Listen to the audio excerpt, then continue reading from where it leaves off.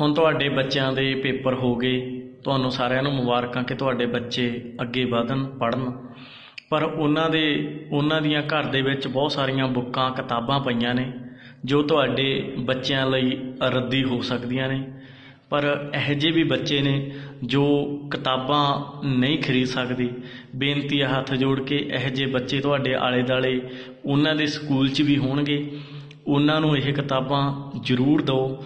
ਉਹ ਕਿਤਾਬਾਂ ਤੋਂ ਪੜ੍ਹ ਕੇ ਕਿਸੇ ਦੀ ਜ਼ਿੰਦਗੀ ਬਦਲ ਸਕਦੀ ਹੈ। ਕਿਉਂਕਿ ਮੈਂ ਵੀ ਇਹ ਹਾਲਾਤਾਂ ਦੇ ਵਿੱਚੋਂ ਨਿਕਲਿਆ ਹੋਇਆ। ਮੈਂ ਵੀ ਪੁਰਾਣੀਆਂ ਕਿਤਾਬਾਂ ਲੈ ਕੇ ਉਹਨਾਂ ਨਾਲ ਪੜ੍ਹਿਆ ਤੇ ਇੱਥੇ ਤੱਕ ਪਹੁੰਚਿਆ। ਮੈਂ ਵੀ ਆਪਣੀਆਂ ਕਿਤਾਬਾਂ ਫਿਰ ਦਾਨ ਦੇ ਦਿੰਦਾ ਸੀਗਾ, ਜਿਹੜੇ ਬੱਚੇ ਨਹੀਂ ਖਰੀਦ ਸਕਦੇ ਸੀ।